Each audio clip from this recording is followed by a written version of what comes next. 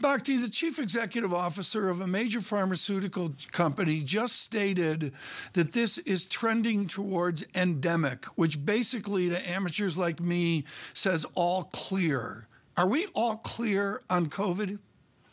Absolutely, not all clear. Absolutely, not an endemic.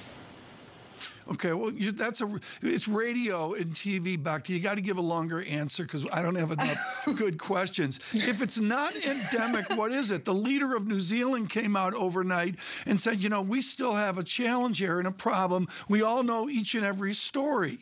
How far are we from what the CEO of AstraZeneca was talking about? So we're still in the midst of a pandemic, which means we still don't quite know how to like overcome the current burden of disease from the from the virus. Um, there is still daily deaths. There are still daily resource limitations. Um, we have some strategies that we know to be effective such as social distancing, vaccinating, but that has proven to be not enough. Also, the virus will continue to evolve. Um, we don't know when that's going to happen. We've been very fortunate so far. It's been a couple of months since Delta emerged, um, but that's something to look out for. We, I'm, I'm, a little bit concerned as I look at the numbers, Dr. Hansoti. It looks like even in areas where there's high vaccination rates, you're seeing surges in the number of cases. I'm thinking of South Korea in particular, with 79% of the adult population with both shots of vaccine, and yet you're seeing the highest number of cases diagnosed going back since the start of the pandemic. Does this indicate that the vaccines are less effective than we thought they were? So I don't think it indicates that the vaccines are less effective. Remember, testing is also going up. We're more likely to test routinely prior to big events, um, prior to going to work in many situations. Um, mortality hasn't gone up. Hospitalizations are lagging behind. So vaccines are definitely effective, I think human behavior plays a big part in this virus. And what we're seeing in the North and the Midwest is that it is getting colder. People are going indoors. People are feeling more confident because they're vaccinating, their behavior has changed.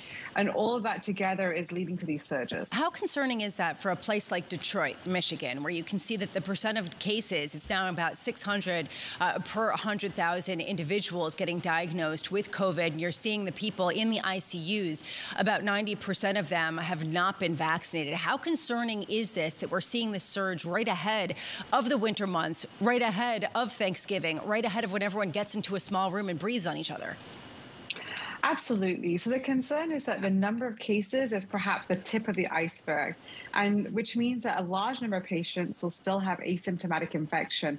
With vaccinated individuals, the iceberg has gone from this to this, which means there's a higher proportion of asymptomatic individuals because people are not, due to vaccines, you're not mounting the symptoms or getting as sick. Um, the challenge is, is that say if you were to travel to Michigan for the holidays, then the airports, um, staying at a hotel, there is a all of these are opportunities for getting sick. Dr. Hansoti, I feel like I've asked this question many times throughout the pandemic, and each time it's proven that, in fact, there aren't enough people with natural immunity or not enough people who are vaccinated in order for the case curve to be prohibited from climbing dramatically upward. Are we getting closer, though, to that point? Yes, I think our surges would have been much higher given the fact that children are in schools, work resumed as normal for many individuals, um, people are traveling again, taking vacations again. I think if the vaccines, some inherent immunity, um, we would have had much higher surges um, and would have been right where we were six months ago.